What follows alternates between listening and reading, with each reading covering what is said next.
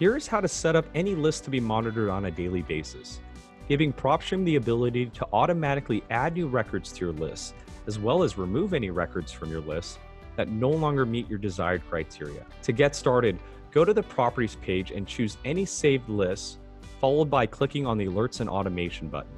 The top portion allows you to control what PropStream will do when new records matching your desired criteria are uploaded to our database. There are four control options. Ignore, which is pretty self explanatory, as some of us are only interested in what no longer meets our criteria. Add to this list, which will automatically put all new matching records into the monitored list. New records are easily identified by locating the date added to list column header in the properties page. Add to another list. This will allow you to select a different marketing list in which all new matching records will be placed. Or I'll do it myself, which will isolate the new records and records to be removed in unique buckets that you can decide what to do with when you're ready. The lower portion allows you to control what PropStream will do when records no longer meet your desired criteria.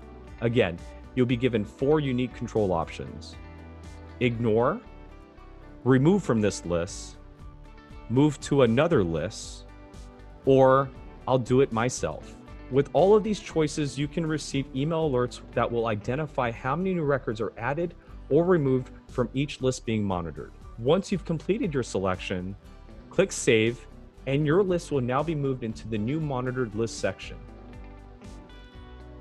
If you would like to learn how to import a list to be monitored, please watch our video, How to Import a List. Thank you.